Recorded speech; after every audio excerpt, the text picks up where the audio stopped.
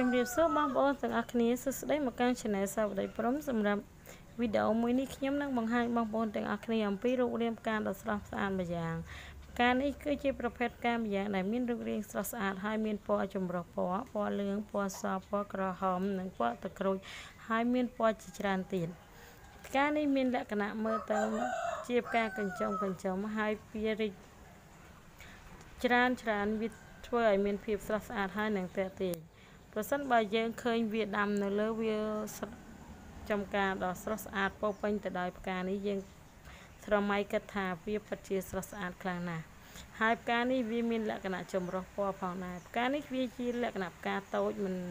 ដូចជាមិនសូវធំប៉ុន្មានទេប៉ុន្តែនៅពេលដែលវារីកច្រើនគឺវារំលេចនូវភាពស្រស់ស្អាតហើយនិងទាក់ទាញ ហើយផ្កានេះយើងអាចដាំវាចម្រុះពណ៌ផ្សេងលាយឡំគ្នាក៏បានដាំវាដាក់នៅក្នុងផើងឬក៏ដាំវានៅក្នុងសួនឬក៏ដាំវាជាចំការដែលវាមានភាពទាក់ទាញហើយស្រស់ស្អាតគួរឲ្យចង់ថតយករូបភាពដ៏ស្រស់ស្អាតរបស់វាខ្លាំងណាស់បន្តទៅទៀតនេះសូមទស្សនាកម្រងរូបភាពផ្កាដ៏ស្រស់ស្អាតយើងជាបន្តទៅទៀតនេះ។